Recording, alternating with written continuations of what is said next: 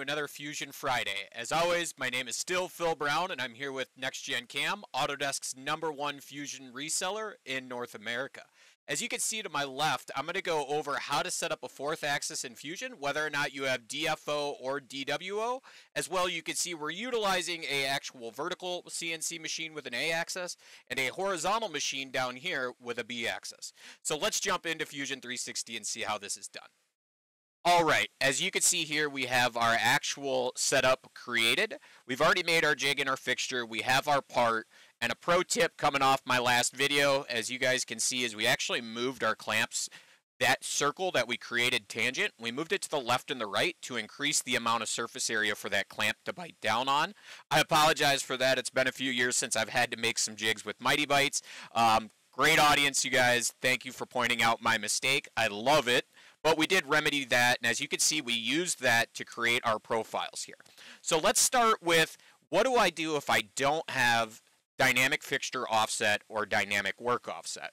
Well, when I create my setup, we're going to go ahead and define everything. And as most of you are going to see, my position is all out of whack. Not a big deal in Fusion's world. We're going to go ahead and set our z-axis. I'm going to start with this part right here. My tombstone is square.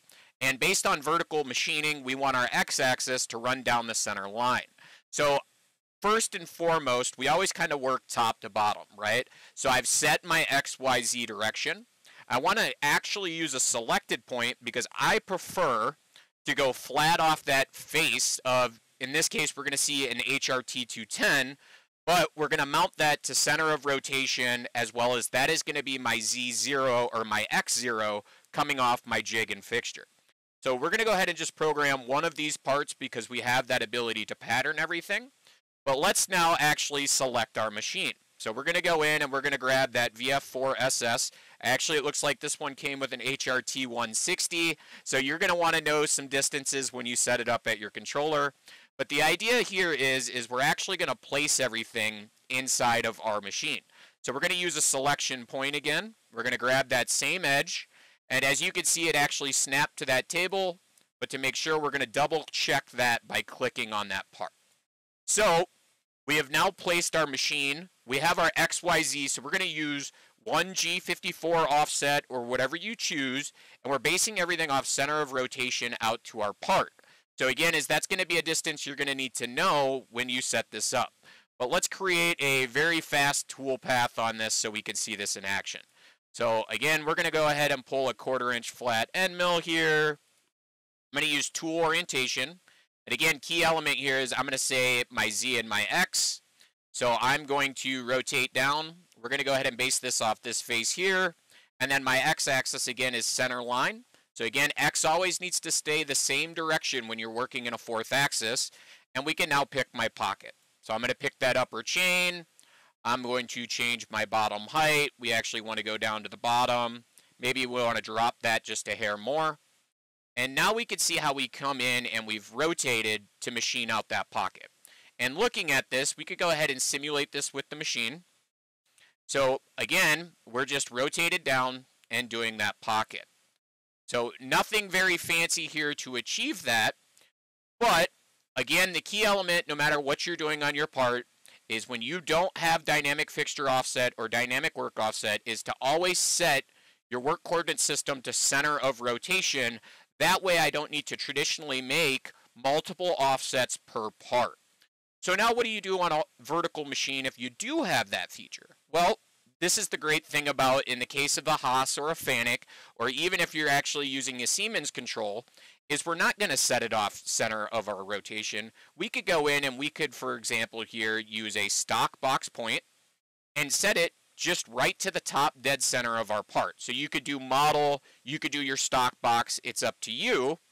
But again, is based on our work offset up here, the controller is going to do that math when we go in and rotate our part down to machine that side fixture. So again, as if we simulate with machine, we're not going to see a huge difference here other than my machine is all cattywampus, but we're just coming in and machining. One cool thing with Fusion is, is we can actually look at the info as well and see our XY coordinates position based on where that is in our actual machine and how we're machining. And again, all I'm doing is just tilting down and taking care of that. but our XYZ position is relatively close to our origin. Not our origin, but our work offset. So now how would we do this when we're talking about a actual fourth axis horizontal? Well, what I'm going to do is I'm actually going to delete my toolpath and go back to my setup. So in this case, we're going to keep that same mindset of, let's say we have DFO or DWO. I'm going to go ahead and select a EC400 just because that is a nice horizontal machine. And I personally, when working on a horizontal machine, I use Z and Y versus Z and X. The theory is still the same. Z has to point out. Y-axis is going to be based on pointing my axis either down or up. In this case, I want to point it up because we're rotating around the y-axis. And because we do have DFO, DWO, we're going to, again, maintain the idea that our controller is going to calculate that math when we swing it. So, again, we're going to place this on our machine. In this case, I got lucky. It came right in. It retained a lot of what we've already done. I need to change my table attachment point possibly. Guys, don't judge me on my jig being a little too small for this machine. Maybe we put it on a riser. And again, let's create that one simple tool path using our quarter inch end mill. And just like so, we do our tool orientation. This time, again, the Z and the Y is my recommended tip to most users because we want to be able to rotate around Y. And we're rotating around Y because we have a actual fourth axis on the Y, which would be a B axis. So again, you guys have seen me do this. Let's go ahead and select our pocket. Let's go and select the depth. Again, very quickly here, we're just going to extend that past just a hair so that we're breaking all the way down and cleaning up those edges. So again, there's our tool path coming in from the side. We're basing all of our math off of our XYZ position. Again, that controller is being utilized to do the math for us. So to simulate this, we could actually look at this on the EC400. In this case, our enclosure is a little bit in the way. We've swung 90 degrees. We're actually boring down. And again, if we look at our info, our XYZ position versus our actual working position with everything in this part. What you're going to notice here is it's going to look a little funky because these numbers are ever moving and we are doing some Z retracts. But you're going to notice based on the software, we're moving a little differently versus what's going to actually happen at your controller when it comes to the mathematics and the kinematics here. So again, that would be with DFO turned on. Well, what if we don't have that DFO and DWO? Again, we can edit our setup. So I'm going to go ahead and get in here. And what I'm going to do is, I'm again, I'm going to go to a selected point, and we're going to place that down at the bottom of our jig, center of rotation from where we've mounted this, and then we could just very quickly just regenerate our toolpath. Again, when we go in to simulate this with our machine, we're going to go ahead and go to see what is actually happening. So again, everything looks identical here, but now when we look at the mathematics on this, you can see my y-axis position, we're seven inches up from that point.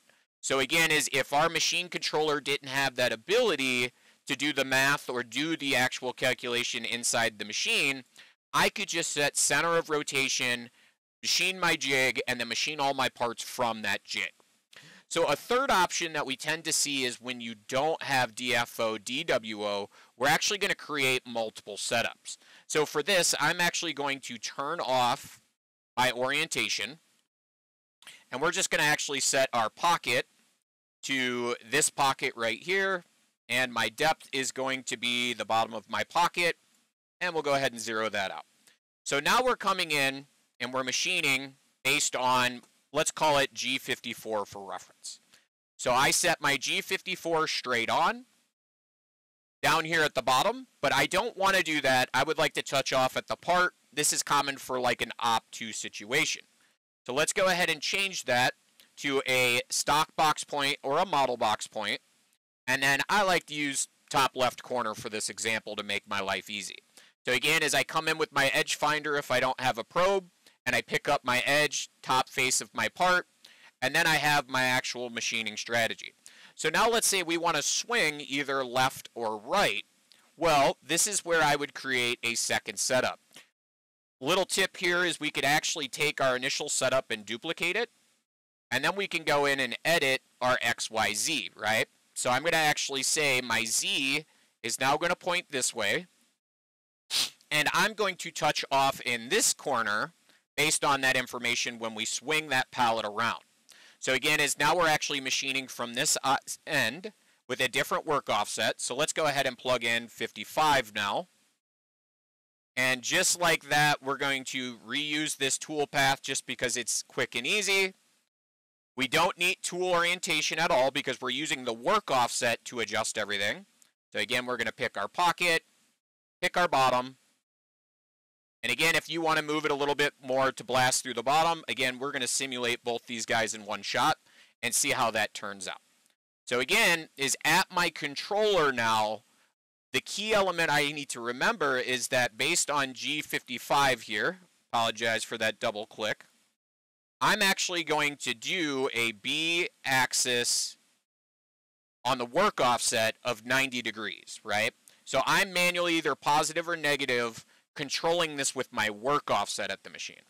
And now when we go in and we simulate this, what you're going to see is we have two different setups working cohesively together, but this allows me to adjust one without the other. So again, is if we're going to look at this, let's go ahead and just make our base transparent and we're coming in and we're machining our part out. I'm going to go ahead and skip this way down through. And then we're going to come out. Again, we're still cleaning this up. Let's go ahead and just hit play and get this through here. Is at some point we're now going to rotate. So here comes my rotation. We retracted, and now we're coming in on the side feature. So as you can see here, I actually made the mistake of machining the wrong part.